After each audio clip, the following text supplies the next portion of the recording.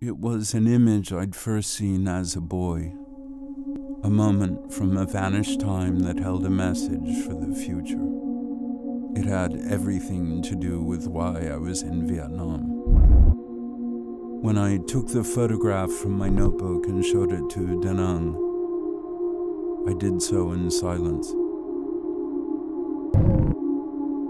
Her slender hands reached to touch the hands of the woman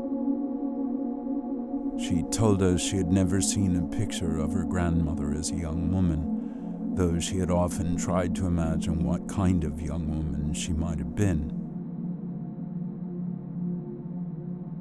It seemed a miracle that the picture she was holding had been taken by my father and that I was here all these years later.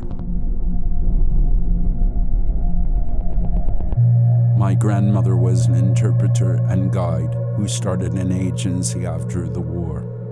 My mom got a pension, but no work was available, so she threw me to the nuns.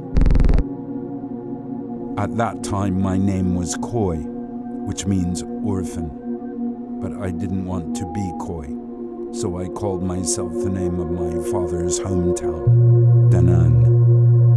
I showed Nguyen Pho Chow the picture that my father had taken 45 years earlier. Why did you never tell me about him? Da Nang asked. Because I don't like to talk about myself in the past. Makes me sad, the old woman said. We felt we didn't deserve family or happiness when so many had died. I asked if I could take a photograph. Please no, said Nguyen Pho Chow.